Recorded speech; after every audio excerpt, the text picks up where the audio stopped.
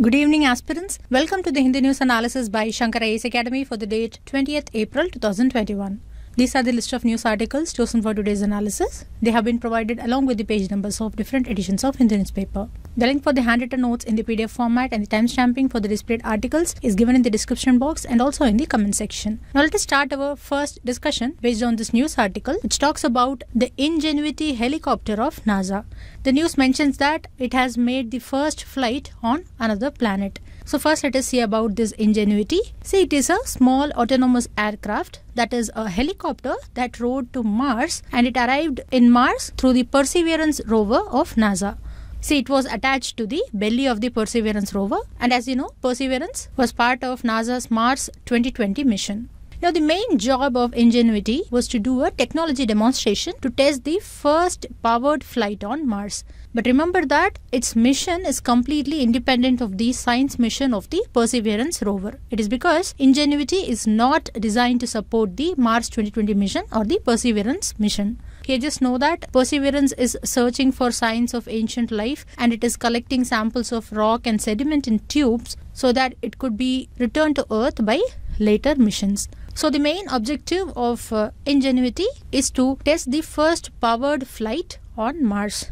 Now this mission is quite important as the red planet that is Mars has lower gravity but its atmosphere is just 1% as thick. So it makes it much harder to generate a lift. See, the gravity of Mars is about one third that of the Earth. Now, one of the key features of this Ingenuity is that it is solar powered and it recharges on its own. And it is also equipped with computers, navigation sensors, and two cameras. Now, already the Perseverance rover, along with Ingenuity helicopter, arrived in Mars and they landed on the Jezero crater in Mars. Also, the length of the mission of Ingenuity is a 30 Martian day period, and in this period, it will do one or more test flights. So, now what is the news? The news is that it has completed its main objective and it has become the first aircraft in history to make a powered controlled flight on another planet. So, in its first flight, the helicopter took off and it climbed to about 10 feet. That is about 3 meters above the ground. As you can see in this video, this video was captured by the Perseverance rover and it was transmitted back to NASA. Now, after it was lifted off the ground, Ingenuity hovered in the air briefly, then it completed a turn and then it landed. Now, this is a major milestone. As we already saw, it is the first powered flight in the extremely thin atmosphere of Mars, and in fact, it is the first such flight in any world beyond Earth. Now, demonstrating such features is important because during these experimental test flights only, it can be decided that whether future missions can be based on this or not. That is, scientists will take informed decisions relating to considering small helicopters for uh, future Mars missions, where the helicopters could perform in a support role as robotic scouts, or they could even uh, survey the terrain from above, etc. So, for all these to materialize in the future, first it has to fly, and now it has been demonstrated by this Ingenuity helicopter. So, it is another milestone in exploration missions by humans. And these are some of the points that you should know about Ingenuity helicopter. Now let's move on to the next discussion. Our next discussion is based on this editorial article which criticizes the ordinance making powers of the President of India and the governors of the state. So, in this context, let us first understand the ordinance making powers of the President and the Governor, and then we'll also see the important points mentioned by the author. The syllabus relevant to this discussion is given here for your reference. See, in India, the central and state legislatures are responsible for lawmaking, and then the central government and state governments are responsible for the implementation of the laws, and then the judiciary, which includes the Supreme Court, High Courts, and the lower courts, all of them interpret these laws. But however, know that there are several overlaps in the functioning and the powers of these three institutions that is the legislature, government, and judiciary. For example, the president has certain legislative and judicial functions, and the legislature can delegate some of its functions to the executive in the form of subordinate legislation. And one such legislative function of the president is the ordinance making power. See, under Article 123 of Indian Constitution, the president has the power to promulgate ordinance when either of the two houses of the parliament is not in session. It is because since the parliament is not in session, it is not possible to enact laws in the parliament. So, what does an ordinance means? It means an order or a rule. So, an ordinance may relate to any subject that the Parliament has the power to legislate on. And we can say that the power to issue an ordinance by the President is coextensive with the legislative power of the Parliament. That is, it is in line with the legislative power of the Parliament. Now, on the other hand, the President has the same limitations as the Parliament to legislate due to the distribution of powers between the Union and the state under the Schedule 7 of the Constitution. As you know, the Schedule 7 has three lists that is, Union list, State list, and Concurrent list, where under the Union list, the central government can legislate, and under the State list, the state governments can legislate, but both the state and the central government can legislate on the subjects in the concurrent list. Now let us talk about the limitations that exist with regard to the ordinance making powers of the executive. Firstly, the president can only promulgate an ordinance when either of the two houses of parliament is not in session. And secondly, the president cannot promulgate an ordinance unless she is satisfied that there are circumstances that require taking immediate action. Here, remember that the satisfaction is not the personal satisfaction of the president, but it is originally the satisfaction arrived after the advice of the Council of Ministers. Now, the third limitation is that ordinances must be approved by the Parliament within six weeks of reassembling or the ordinances shall cease to operate. This means an ordinance will expire after six weeks once both the houses of the parliament are in session. And as you know, according to Article 85, it is compulsory for a session of the parliament to be held within six months. So, based on this, we can say that the maximum validity of an ordinance is six months and six weeks. And fourthly, the ordinance will also cease to operate in a case if resolutions are passed by both the houses of parliaments that disapprove the ordinance. And then fifthly, if an ordinance makes any provision in which the parliament is not competent to enact, then such ordinances shall be void. And finally, remember that an ordinance can be withdrawn at any time by the president. So these are the limitations regarding the ordinance making power of the executive. Now, like how just we saw that the President of India is constitutionally mandated to issue ordinance under Article 123, the governor of a state can also issue ordinances under Article 213. Now, the governor can issue an ordinance when the state legislative assembly or if the state has uh, both the legislatures. That is, if it is a bicameral legislature then if uh, either of the houses in the states is not in session, then only the governor can issue an ordinance. And here note that the powers of the president and the governor are broadly comparable with respect to ordinance making. However, here it is to be noted that the governor cannot issue an ordinance without instructions from the president. In these three cases, where the assent of the president would have been required to pass a similar bill. So, this is the basic that you need to know about the ordinance making powers of the president and the governor. Now, author criticizes these powers. Author not only criticizes the powers of the president and governors to issue ordinances to make laws, but author also criticizes their power to reissue those ordinances without getting them ratified by the legislatures. See, author opines that ordinances were used fairly, regularly by the central as well as the state governments to bypass the parliament. Now, to substantiate this viewpoint, author talks about the historical use of ordinances by the central and the state governments. And for this, he first takes the example of the data provided by the Ministry of Parliamentary Affairs on the statistics of ordinances promulgated since the year 1950. So, according to the data, in the 1950s, central ordinances uh, were issued at an average of 7.1 per year, and this number peaked to 19.6 per year in the year 1990. But this number declined in the 2010s and it was around 7.9 per year. And then again, in the last couple of years, there is a spike in ordinances where we can see that there are 16 ordinances promulgated in 2019 then 15 in uh, 2020 and uh, even in 2021 four ordinances have been promulgated till now. So mainly we are discussing about ordinances. It is because of an ordinance that has been re-promulgated and this ordinance is regarding the national capital region See, if you remember, last year an ordinance was promulgated that established a commission for air quality management in the National Capital Region. This ordinance is known as the Commission for Air Quality Management in National Capital Region and Adjoining Areas Ordinance 2020. And now this ordinance has been re-promulgated by the President. or we can say it has been re-promulgated based on the advice of the Council of Ministers, that is the central government. So before this ordinance could lapse, it has been repromulgated. And if we take the example of state governments, here also the scenario is worse. For example, Bihar had issued 256 ordinances between the year 1967 and 1981.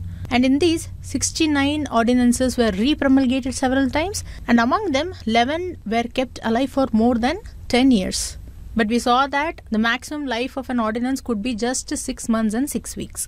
And if you even take the example of other states, in 2020 itself, Kerala had issued 81 ordinances, Karnataka issued 24 ordinances, and Maharashtra issued 21 ordinances. So, based on this, we can feel that this ordinance making power of the executives is like encroaching on the power of the parliament to legislate. So, what does the Supreme Court opine in this matter? See, this is where the verdict from a five judge constitution bench of the Supreme Court in the 1986 assumes importance. This verdict was with regard to a petition filed by a petitioner against the repromulgation of ordinances by the governor of Bihar from time to time. Here, the court ruled that repromulgation of ordinances was contrary to the constitutional scheme. Supreme Court also said that the power to promulgate an ordinance is essentially a power to be used just to meet an extraordinary situation and it cannot be allowed to be perverted to serve political ends. That means Supreme Court held that just for political advantage ordinances cannot be used.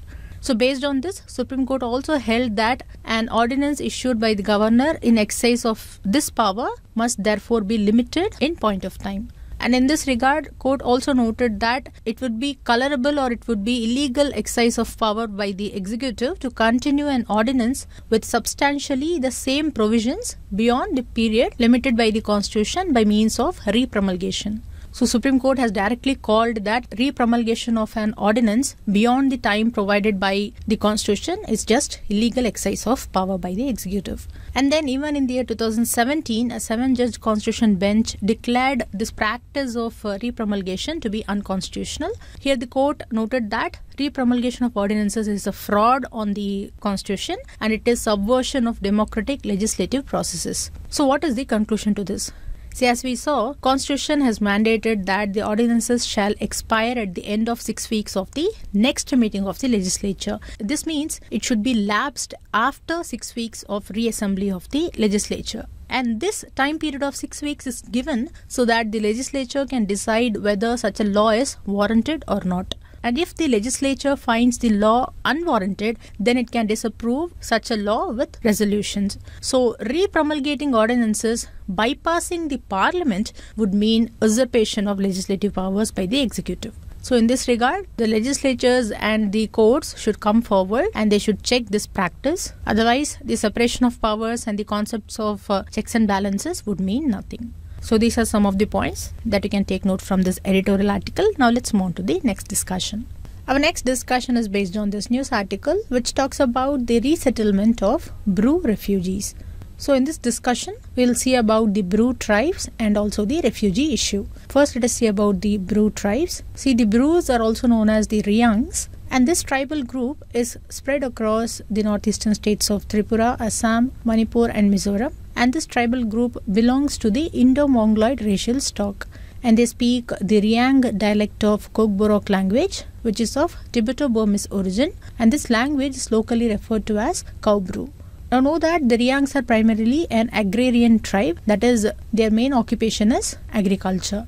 So in the past they mostly practiced the hook cultivation which is also called as the jhum cultivation like most other Tripuri tribes. See, a few days before we saw about the jhum cultivation, which is also known as the slash and burn cultivation. But however, today most of them have adopted modern agricultural practices.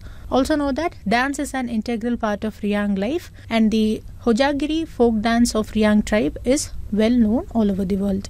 And their important festival is Buisu, and according to some sources, this festival marks the beginning of new year. And most importantly, know that they are recognized as one of the 75 primitive tribes in India. So they have been recognized as the particularly vulnerable tribal group from Tripura. So now what is the refugee issue? See, as we discussed, the Riang tribes are spread across the northeastern states of Tripura, Assam, Manipur, and Mizoram. Now, in Mizoram, they have been targeted by groups that do not consider the people from a Bru tribe as indigenous to the state. So, an ethnic violence erupted in Mizoram, and this forced thousands of Brus to leave their homes. So now the displaced Bru people from Mizoram have been living in various camps in Tripura since 1997 itself. But what happened was Tripura wanted to send these Bru refugees back to Mizoram.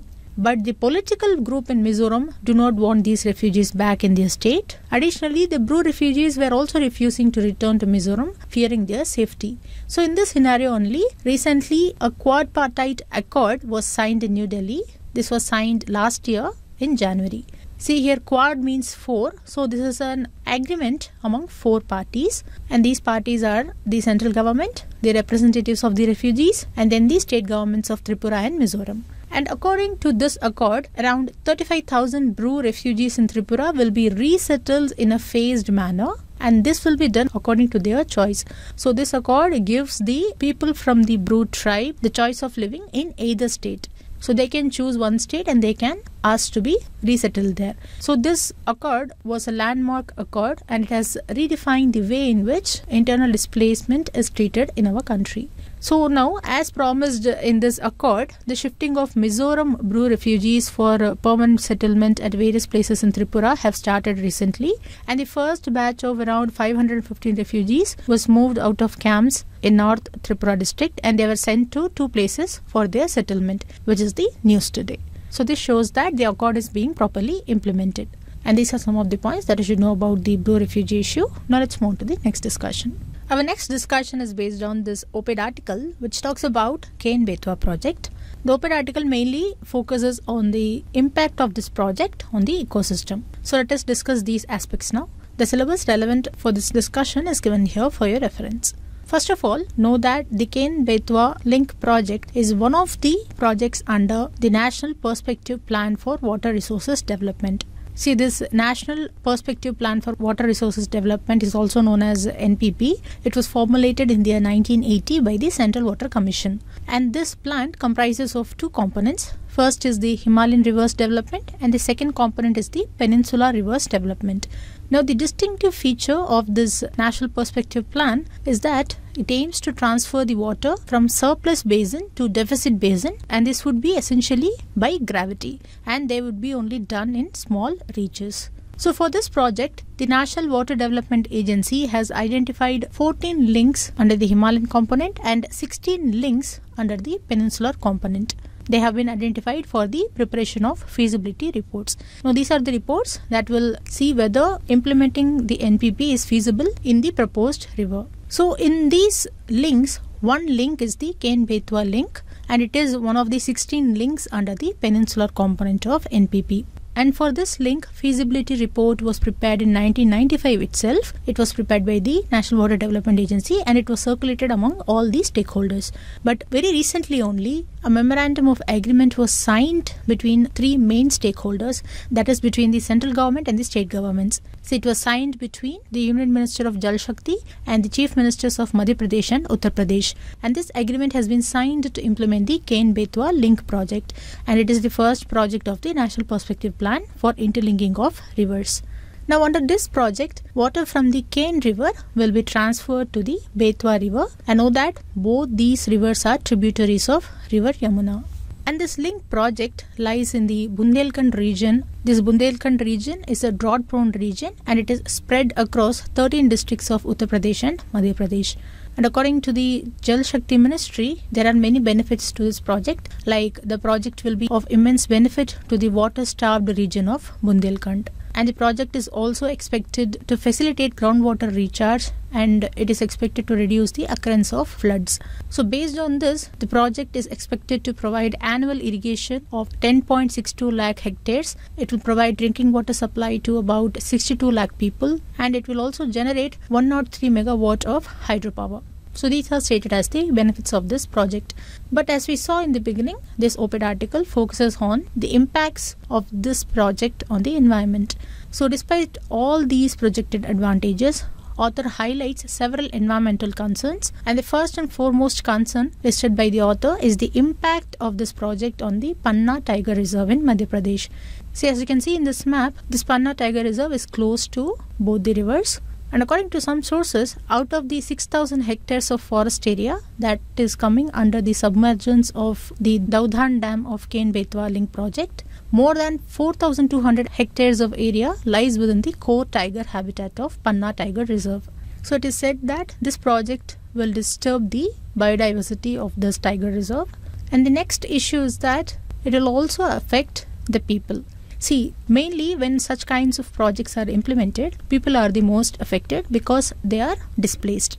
So, before carrying out the project, people are given an opportunity to list out their concerns regarding the project and for this purpose public hearing is used. See public hearing is one of the stages of environmental impact assessment in india. And this public hearing is a process in which stakeholders can interact directly with the government officials and the project proponents. And they can talk about the concerns regarding upcoming project. And according to the author, people of this region where the project will be implemented are going to be impacted due to the displacement. And previously, also in the public hearings, people were divided on political lines. That is, some supported the project and some were against it. They not only talked about the concerns regarding the displacement, but they were also concerned about the loss of ecosystem. See, here you should know that, according to the author, out of 12,500 hectares of land that is to be submerged by the project, more than 9000 hectares are categorized as forest land. And as we just saw, this submerging area also includes a section of the Panna Tiger Reserve. So, apart from permanently damaging a part of the Tiger Reserve, the project may also destroy about 7.2 lakh trees. And this may affect the rainfall pattern in the already parched region, that is, dry region. We just saw that Bundelkhand is a drought prone region. So, cutting down of trees may further affect the region. Then another issue pointed out by author is that the claims of Ken River having surplus water may be unrealistic because the river is not perennial. So when we say perennial, it means lasting or existing for a long time. And according to the author, Ken River is not perennial, so it may also dry out and it may not remain surplus in the future.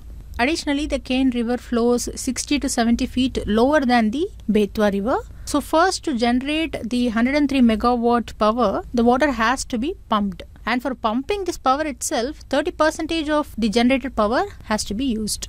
So based on this only, author has stated that the benefits of this project do not seem certain and the benefits are far outweighed by the costs on the environment. And this is why he calls the Ken Betwa project as a huge costly mistake. So these are some of the points that you should know about Ken Betwa project and the issues with it.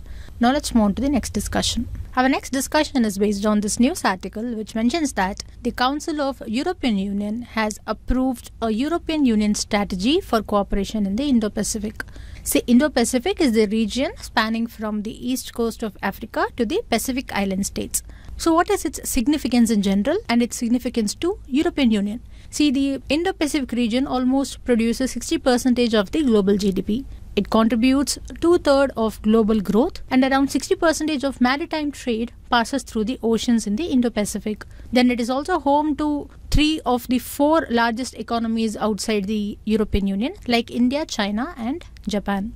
Additionally, the region is at the forefront of the digital economy and the technological developments. And the region is also central to the global value chains. It is central to the international trade and investment flows.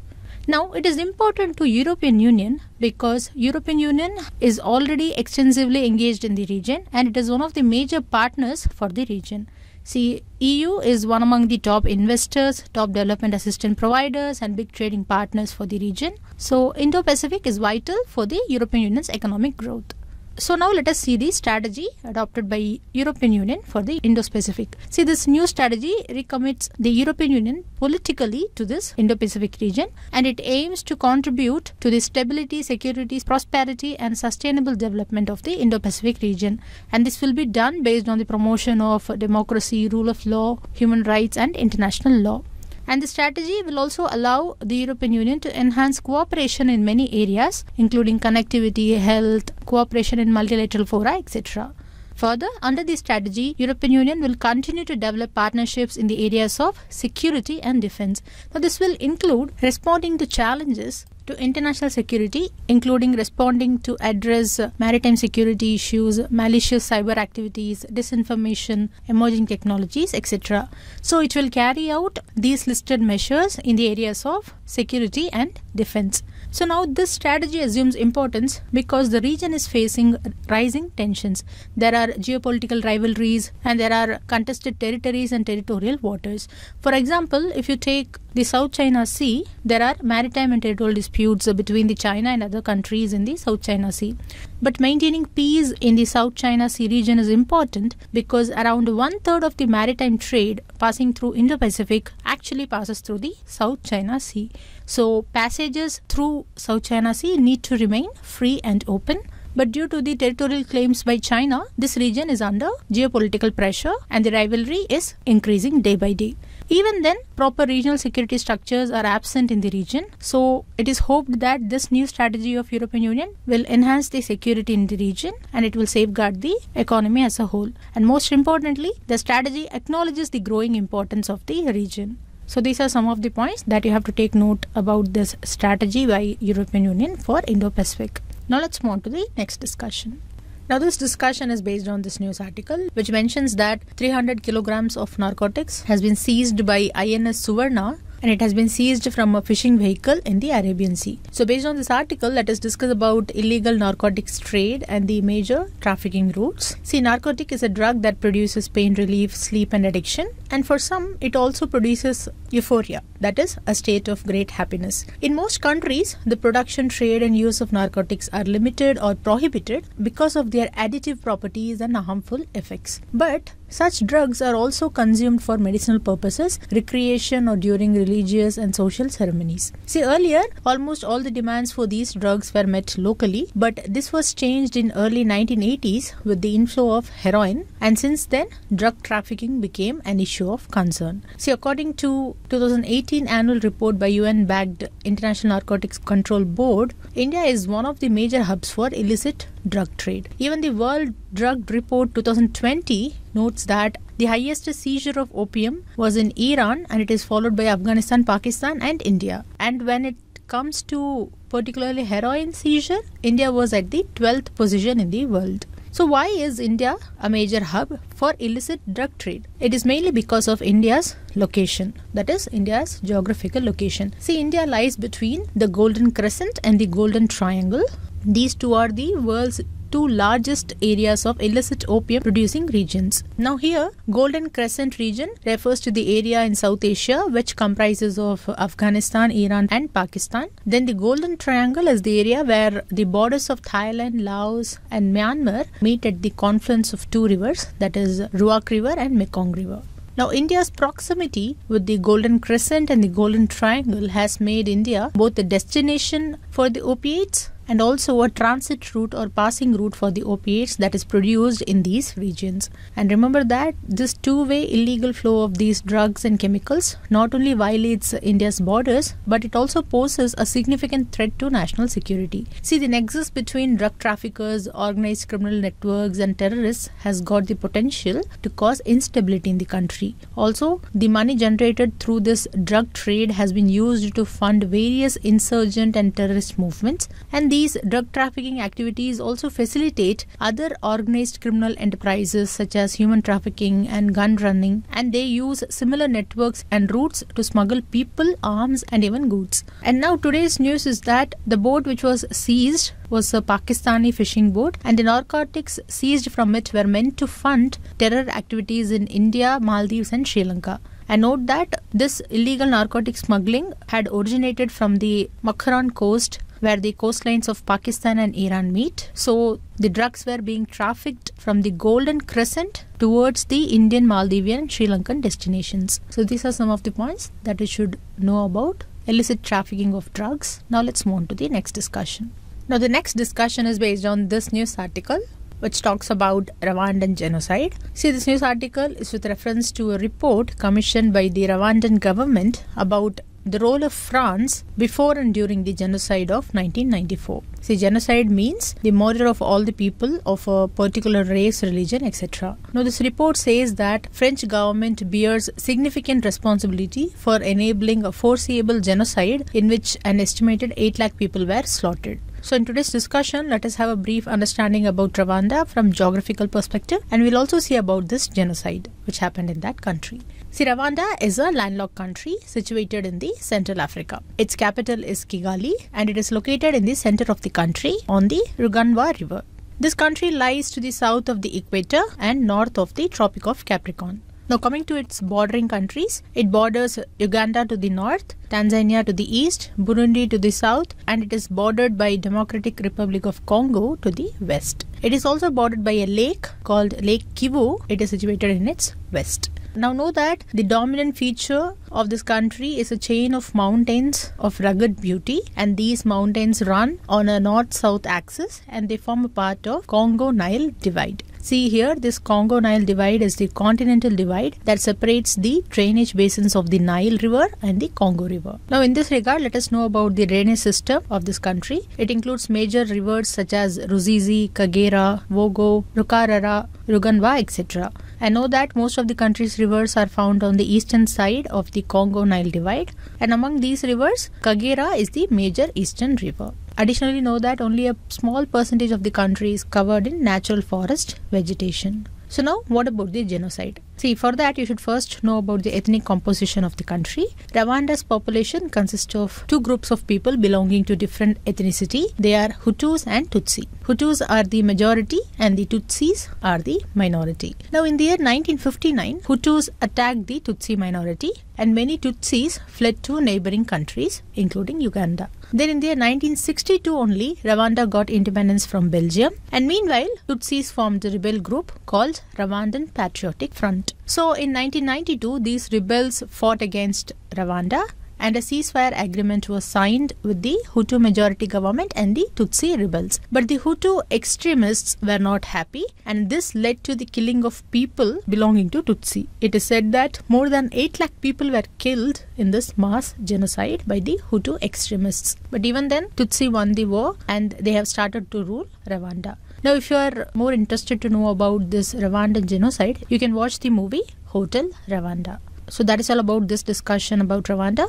Now, let us move on to the next discussion, which is based on this editorial article, which talks about the role of artificial intelligence in the life of children. See, we have already seen about artificial intelligence and its associated issues on our 17th March Hindu News analysis. You can view that analysis for better understanding. And in today's discussion, we'll look into the role played by AI in the lives of the children. And we'll also see about the points noted by author regarding the associated vulnerabilities for children in AI. And we'll also see the way forward.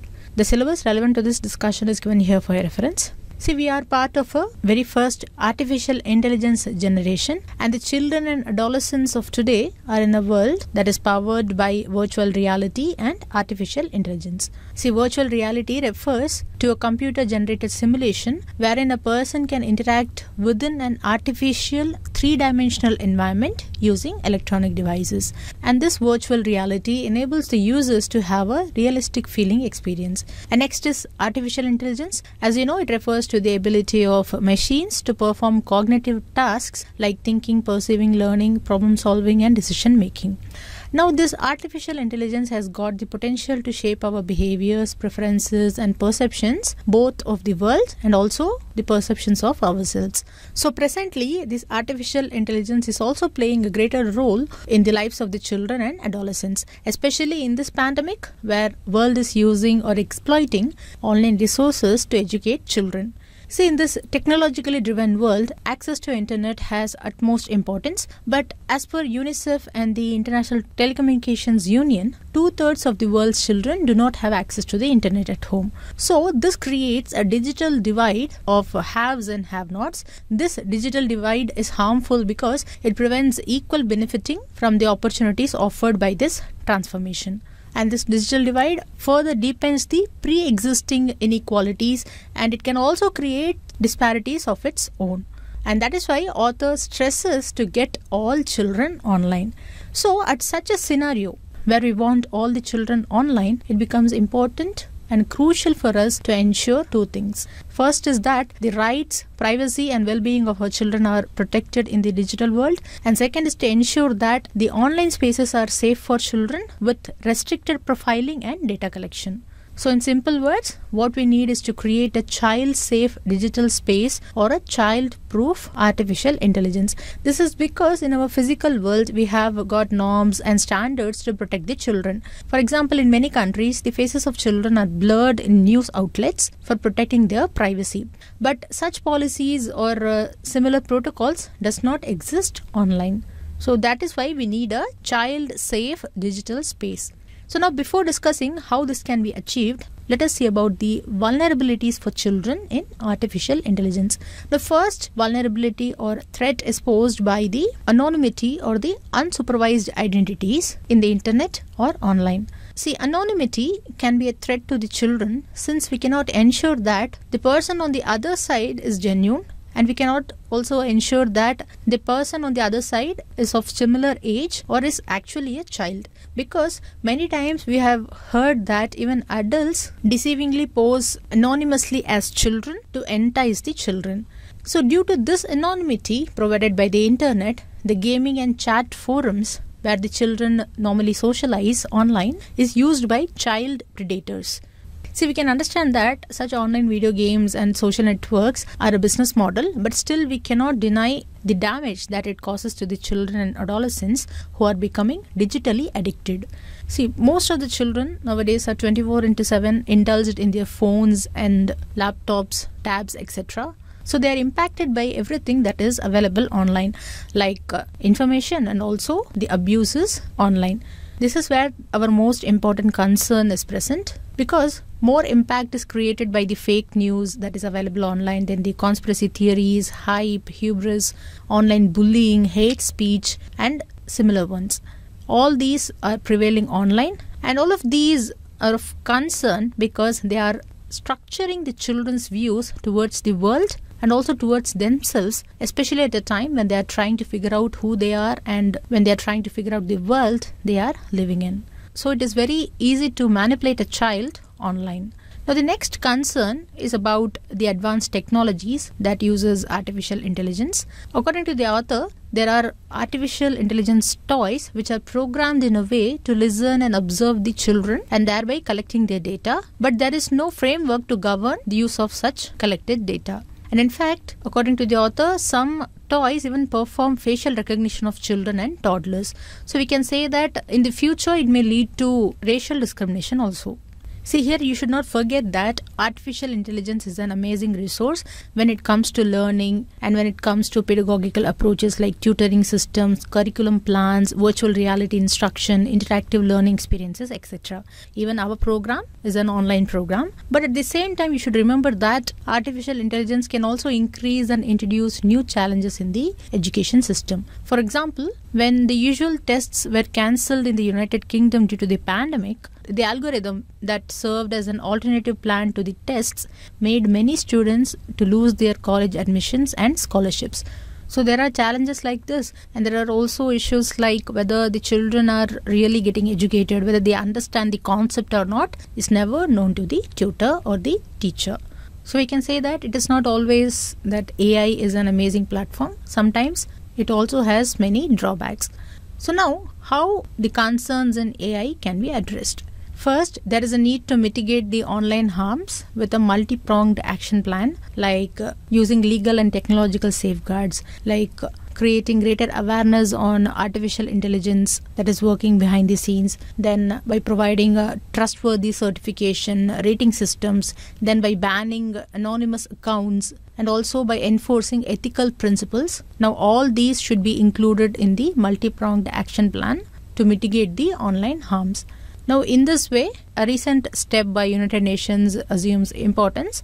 It is the General Comment 25 on children's rights in relation to the digital environment. This is a landmark decision by the UN Committee on the Rights of the Children, and this decision embeds children's rights online into the larger framework of the UN Convention on Rights of the Child, that is UNCRC. And this landmark document highlights and raises awareness of the risks that children face online. It also lists the opportunities which the online environment brings to the children and it also asks the public and private sectors to take action to address the concerns present in the online platforms. So, based on this, author finally concludes by mentioning about the need for a multilateral and multi-stakeholders effort in ensuring an ethical artificial intelligence for the upcoming generations.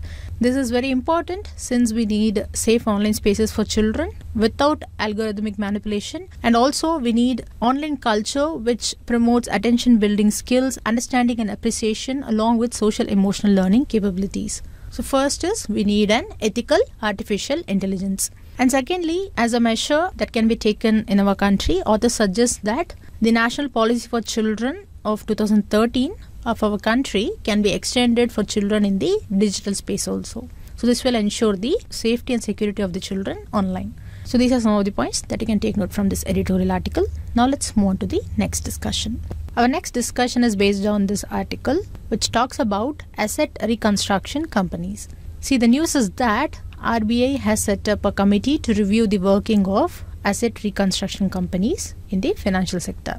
The committee will also recommend suitable measures for enabling these companies to meet the growing requirements. So, in this context, let us discuss in brief about uh, asset reconstruction and also ARCs, that is, asset reconstruction companies. So, you know that one of the leading problems in India's financial sector is the alarming volume of non performing assets with the banking system. So, several attempts were made to tackle these NPAs, that is, non performing assets. And one such serious step was the creation of dedicated institutions called asset reconstruction companies, or in short, ARCs. So, first, what is asset reconstruction? It means acquisition by an ARC of any right or interest of any bank or financial institution in any financial assistance, and this is done for the purpose of realization of such financial assistance. So, what we mean is ARCs acquire the bad debts or NPA accounts from the banks and the financial institutions and they try to resolve these bad debts expeditiously by availing remedies under existing laws of India. So now what about an ARC? It is a company incorporated under the Companies Act and it is registered with the Reserve Bank of India under section 3 of the Securitization and Reconstruction of Financial Assets and Enforcement of Security Interest Act of 2002 or in short the SARFAESI Act of 2002 and in India ARCs function under the supervision and control of the Reserve Bank of India. Now these ARCs are in the business of securitization and reconstruction of the financial assets and these are strictly carried out as per the SARFAESI Act and the guidelines issued by the Reserve Bank of India from time to time. Now as per the SARFAESI Act, the sponsor of ARC is any person who is holding not less than 10 percentage of the paid up equity capital of an ARC and as per uh, 2016 amendment to SARFAESI Act an ARC should have a minimum net owned fund of uh, rupees 2 crore but later in 2017 RBI raised this amount to 100 crore rupees. Now apart from this the ARCs also have to maintain a capital adequacy ratio of 15 percentage of its risk weighted assets. Here just know that risk weighted assets are used to determine the minimum amount of capital that must be held by banks and other financial institutions in order to reduce the risk of insolvency. Now, an example for ARC in India is the Asset Reconstruction Company India Limited, or in short, ARCIL. It is sponsored by prominent banks and financial institutions such as SBI, IDBI Bank Limited, ICICI Bank Limited, etc. Now this diagram summarizes the working of an ARC. Here just know that a qualified buyer means a financial institution, insurance company, bank or ARC etc. that is making investment on behalf of mutual fund or a foreign institutional investor who is registered under the SEBI Act of 1992. A qualified buyer also includes non-institutional investors specified by the RBI or any other body corporate specified by the SEBI. These are some of the factual informations that you should know about uh, asset reconstruction companies. Now let's move on to the next discussion.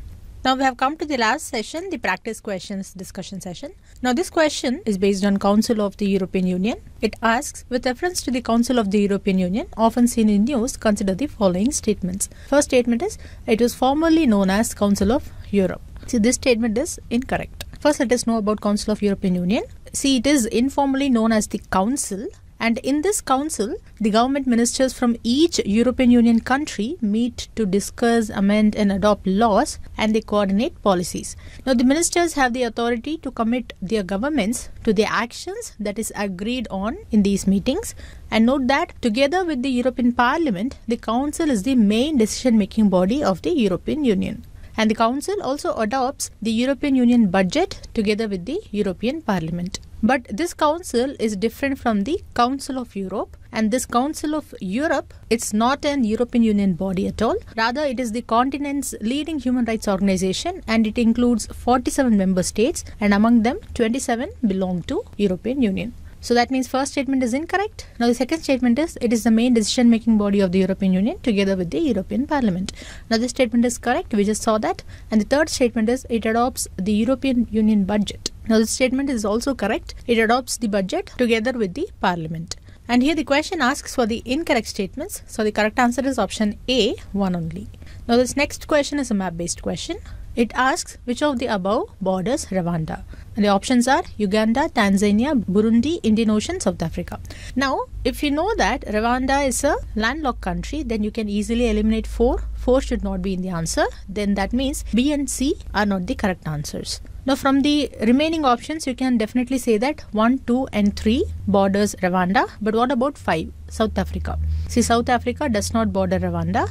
So the correct answer is option A 1, 2, and 3 only. Now, this next question is based on Riang tribe. First statement is the Riang tribes are spread across the states of Odisha, Jharkhand, and Chhattisgarh. Now, this statement is incorrect because they are spread across the northeastern states and it includes Tripura, Assam, Manipur, and Mizoram. Now, the second statement is the Riang speak the Kokborok language known as Kaubru.